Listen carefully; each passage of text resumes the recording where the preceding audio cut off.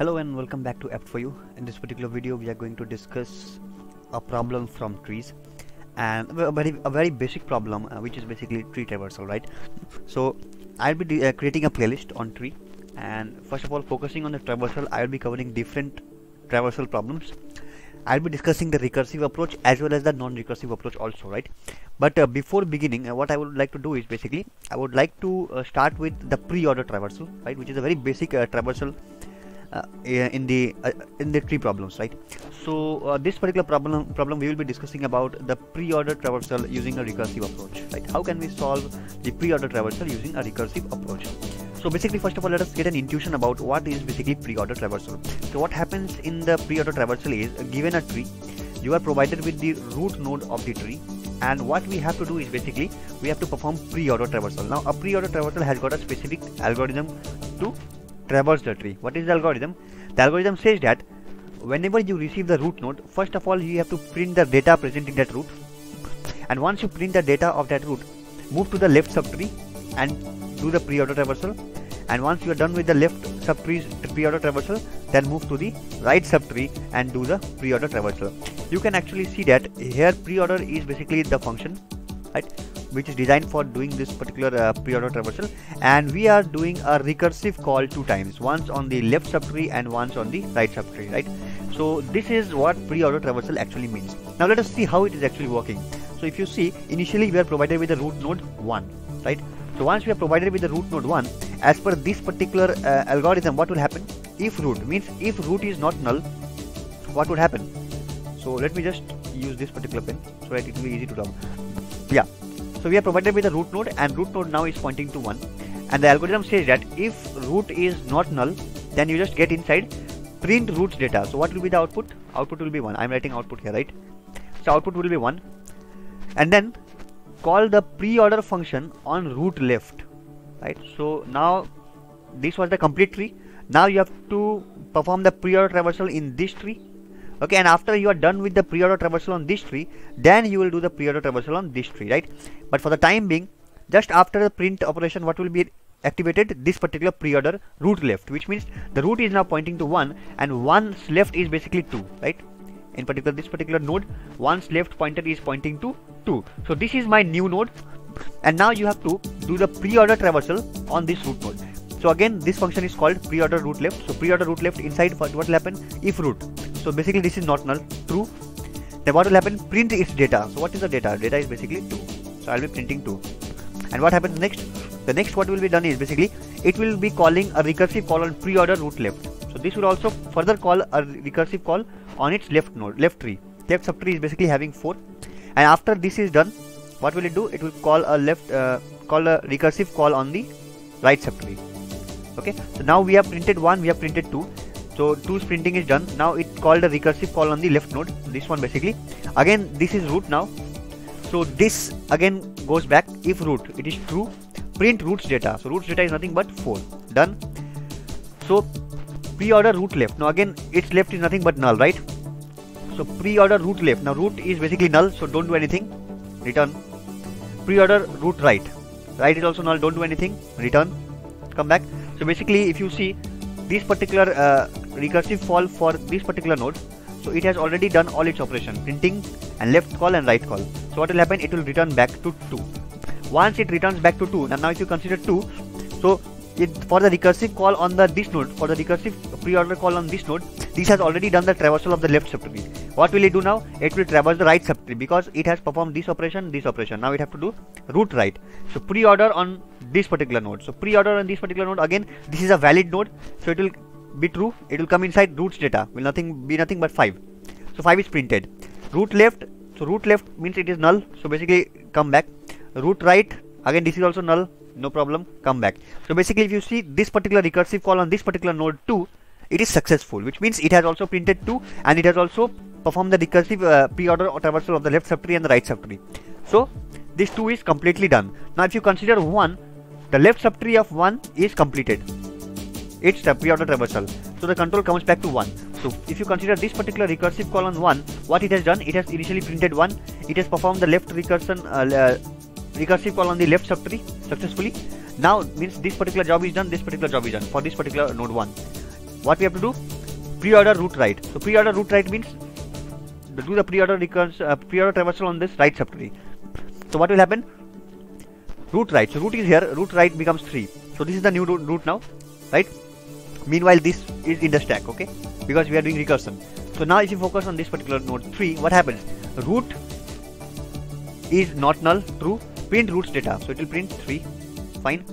And again once roots data is printed again it will now for this particular node it will call the pre-order traversal on the left subtree. And once it is done it will call on the right subtree. So now considering the left subtree. Again this is not null true. So what will it do? It will print 6 because of this particular line. And again it will do a pre-order recursive call on the left subtree which is null so it will do nothing. Right subtree do nothing come back. So if you consider uh, node 3 basically the recursion on the left subtree is completed. The pre-order traversal of left subtree is completed. Now it's time to perform the pre-order traversal on the right subtree so right subtree again 7 so root right root right will lead to 7 7 is not null true so print 7 root left right because of this line. Root left is null do nothing. Root right is null do, do, do nothing. So basically this particular node 3 also has completed its complete pre-order traversal. It will come back. So if you now consider on uh, node 1 what happens? The root was successfully printed. There was a successful left, uh, uh, pre-order traversal on the left subtree and also a successful uh, right uh, pre-order traversal on the right subtree. So basically we have successfully completed our pre-order traversal. What is the answer? The answer is 1 2 4 5 3 6 7 this is the output of the pre-order traversal right? Uh, so i hope uh, you got the intuition behind pre-order traversal. Now let us just try to code this particular problem and we shall use the same algorithm that is being discussed here. Do remember do remember one thing. Here you see they are using void right? The return type of pre-order is void because basically we are not returning anything right by this function. At every time we are just printing the value and then just doing a recursive call. And the recursive call in the during the recursive call we are not returning anything. Instead we are just printing. Whenever we are reaching the uh, root node right? Because of the pre-order uh, by uh, following the pre-order approach. So pre-order basically it can be remembered by pre means first. So basically the root will be printed first and then the left subtree and then the right subtree. This is the approach okay? The root is printed first then the left subtree and the right subtree. This is the pre-order traversal. So just remember this is the void type okay? Now I shall show you the code for this particular problem so let us now uh, see the coding part. How can we actually implement the pre-order traversal using recursion here? So here basically the they have asked us to perform pre-order traversal. We will be using recursion. Now the problem is uh, now the pre-order function here is not void type. As I said you in the last uh, particular presentation that we the pre-order traversal is basically void type right? Now it was void basically when we were just printing the nodes value during recursion but in this particular problem statement here in Geek4Geeks they have asked us to basically store the pre-order traversal into an array right? So if you want to basically store the data and moreover we know that we are going to use recursion here so basically we need something dynamic that would exist even after the recursion is over.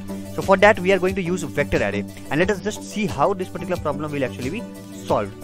So I will be creating an array. Let me just erase the screen. Yeah fine so let us try to solve this particular problem. So as i said we will be storing the entire pre-order traversal in an array. So for that particular purpose what we are going to do is basically i am going to create a vector array whose name will be uh, which will be integer type because it is going to store the node values right during the traversal. And suppose the name is output. So vector integer output. This is the vector array that we are creating. And now let us create a function solve which will basically be getting the root node right so node I'll show you why I, I need this. Node star root. Okay? So this function will get the root node.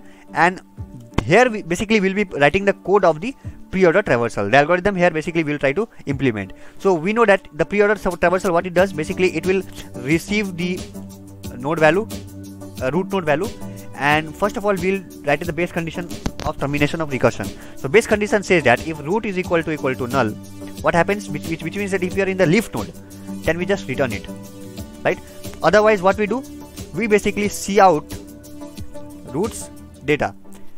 But in this particular problem we are not going to write cout data. Why? Because we are not asked to print the values. Instead we are going to store them in a vector array. So for that particular purpose uh, we are using the uh, output the array that we declared right now isn't it? Output the vector array. Output dot push the value of this particular root data Getting the point? Instead of printing them, just store them in the array. This is what they have asked us in the question. Roots data. Now we know that once we have printed the value of the root, we are calling the function on the left subtree and as well as, on the right subtree. So same thing. Solve.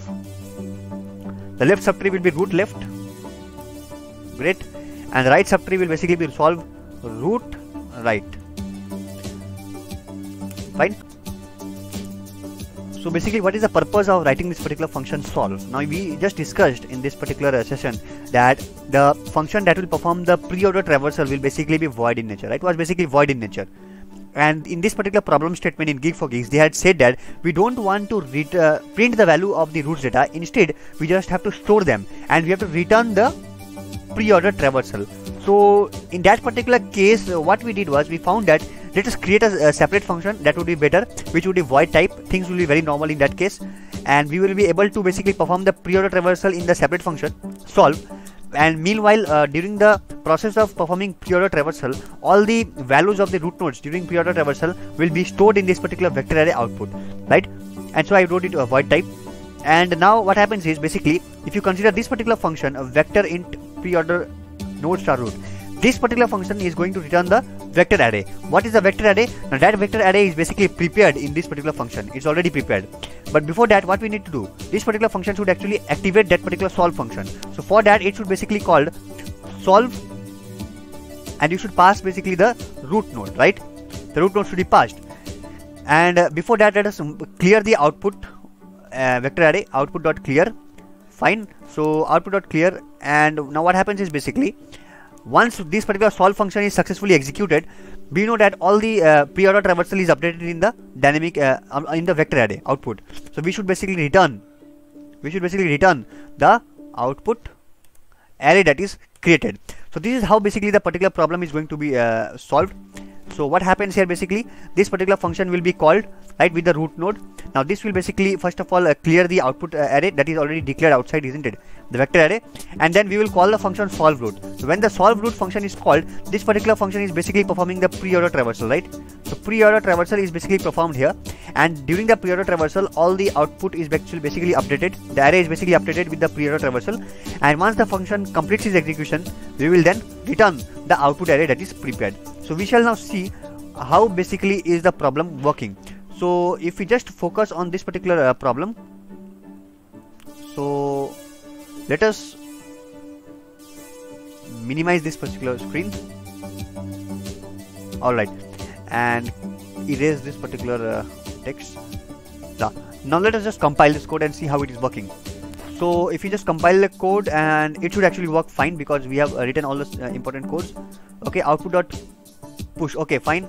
So this is basically not push but it is push back. Output dot push back. Okay you should uh, be familiar with the command. I hope there is no other mistake.